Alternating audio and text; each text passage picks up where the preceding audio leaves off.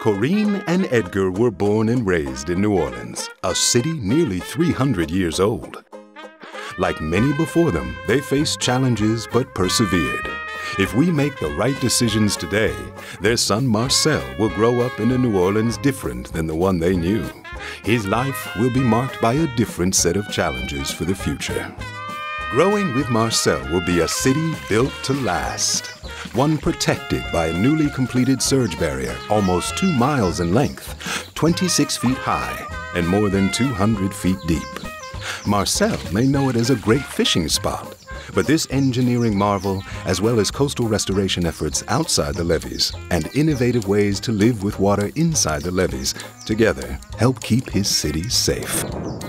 When storm clouds form on the horizon, an early warning system will provide real-time updates so Marcel and other families can prepare for a coming storm. And thanks to new building codes and our Living with Water approach, residential and commercial buildings are safer, more resilient, and structurally sound. Building a resilient city is more than prepping for man-made and natural disasters. It's about making the fabric of the city stronger too. As Marcel grows, he'll benefit from innovations in public education that excel in science, technology, engineering, and math, and integrate resilience and environmental awareness into the curriculum. These schools not only put Marcel on the pathway to higher education and success, they also ensure that New Orleans becomes an engine for business investment that connects its residents to good job opportunities, things that are vital to the health of our economy. As an adult, Marcel might commute to work on a modern, efficient streetcar, passing revitalized neighborhoods in sync with the rhythms of success. He'll work in a New Orleans that promotes businesses large and small.